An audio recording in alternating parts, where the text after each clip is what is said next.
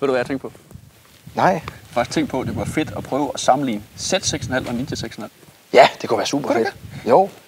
Så er det da heldigt, at vi står her hos Mark, som har heldigvis en af de to. Eller, Ja, han har faktisk jeg, begge to. jeg, jeg er ret sikker på, at han har begge to. Skal vi ikke, øh, skal vi ikke banke på? Åh, om han er hjemme. vi kan- Så vi kan låne det. Kom.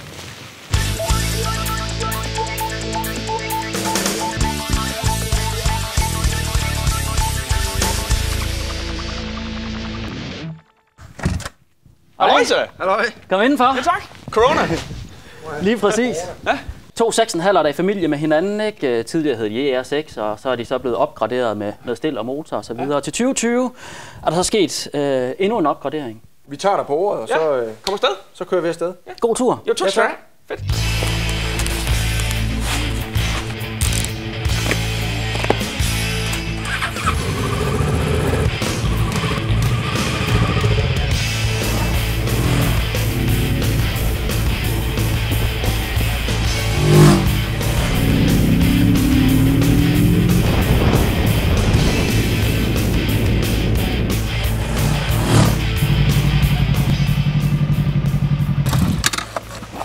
Hold kæft, mand. Det er fedt.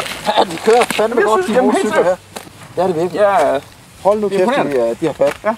så jeg tror, nu skal jeg, jeg skal lige prøve den der lidt. Ja, men lad os lige, lad os lige, lad os lige bytte. Yes. Så kører jeg herover. Fedt, fedt, fedt.